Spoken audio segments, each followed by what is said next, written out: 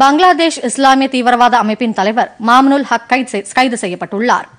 பங்களாதேஷ் கெஃபாசத் இ இஸ்லாம் எனும் அமைப்பில் இணை தலைமை இயக்குநராக உள்ள ஹக் மீது கொலை தாக்குதல் கலவரங்களை தூண்டுதல் போன்ற பல்வேறு வழக்குகள் கடந்த ஆண்டு பதிவு செய்யப்பட்டிருந்தது.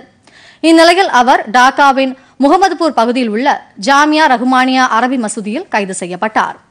கடந்த மாதம் இருபத்தி ஆறாம் தேதி டாக்காவில் நடைபெற்ற வன்முறை ஆர்ப்பாட்டங்களில் ஈடுபட்டது உட்பட பல்வேறு வழக்குகளும் அவர் மீது நிலுவையில் உள்ளன. கைது செய்யப்பட்ட மாம்னுல் ஹக் நீதிமன்றத்தில் ஆஜர்படுத்தப்பட்டார். அவரை ஏழு நாள் காவலில் வைத்து காவல்துறையினர் விசாரிக்க நீதிமன்றம் உத்தரவிட்டுள்ளது.